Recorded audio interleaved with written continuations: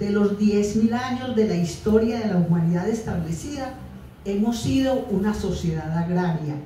El hombre pasó de cazador-recolector, nómada, a sedentario agricultor. Con la revolución agrícola hace 10.000 años. Esta revolución agrícola coincide con la finalización de la última glaciación que se dio de hace 130.000 años hasta hace 10.000 años. Y coincide también con la llegada del hombre a América, que pasó por el estrecho de Bering, pasando de Alasia, de, perdón, de Alaska, pasó por el estrecho de Bering, llegó a América. Muy bien. Bueno, llegó de Siberia a Alaska por el estrecho de Bering. Los pueblos sedentarios se alimentaban de plantas que cultivaban en los campos. Criaban animales para aprovechar su carne, su leche y su potencia de tracción.